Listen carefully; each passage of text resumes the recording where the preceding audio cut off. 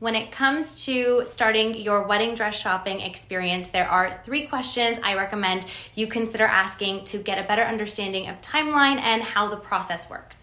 The first question is that you want to call stores that you're interested in shopping and ask them how quickly they get booked up. So, how far in advance do you need to book your appointment? Question number two that you want to ask is lead time for dresses. How long does it take for dresses to come in? Each manufacturer has their own lead time, so you want to understand how quickly gowns are arriving. The third question to consider asking is what does the alteration process look like? How many months do I need for alterations? So you can strategize when to order the dress and ensure that you're leaving enough time for the alteration process.